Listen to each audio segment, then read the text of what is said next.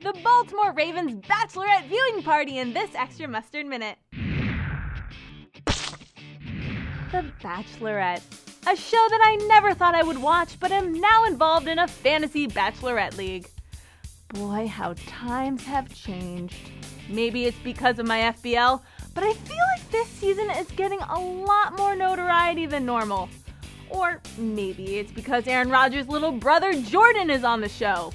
And maybe because of that, the interest is high, which is why NFL players are having viewing parties, like the Baltimore Ravens. Ah, uh, yes. Ravens tight end Dennis Pitta held a viewing party with a few of his teammates, including quarterback Joe Flacco, which makes it all the more interesting when Tuesday night's episode had cameo appearances by none other than some of the Ravens' biggest rivals, the Pittsburgh Steelers. So to help me today, I did bring a couple friends, guys that helped me win two world championships. Wide receiver Hines Ward and defensive end uh, Brett Keisel. Surprise! Ben Roethlisberger and former Steelers Hines Ward and Brett Keisel all showed up and crashed Pitta's viewing party via the TV.